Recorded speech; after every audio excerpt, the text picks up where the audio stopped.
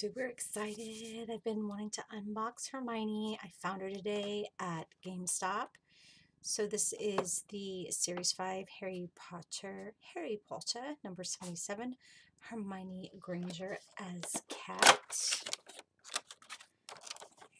So, looks like it's supposed to have a stand, but it's missing. Oh, there it is. Score. Maybe somebody opened it. I don't know. The stand fell out, but it's here, so yay. Oh.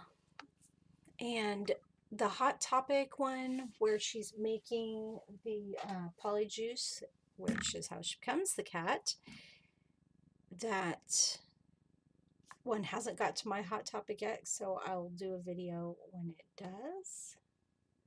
But here she is as the cat. So she's wearing the Slytherin robes. She has her wand.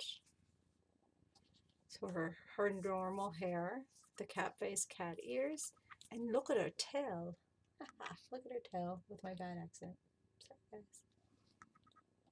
So you can see she has the detail of the on the robes. I think overall it's pretty cute. I know it was a must-have on my list.